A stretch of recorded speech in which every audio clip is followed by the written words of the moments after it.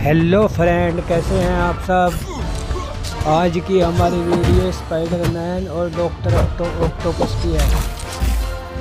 ये इस वीडियो में जो ऑक्टोपस है, ये स्पाइडरमैन मूवी में भी आपने देखा होगा।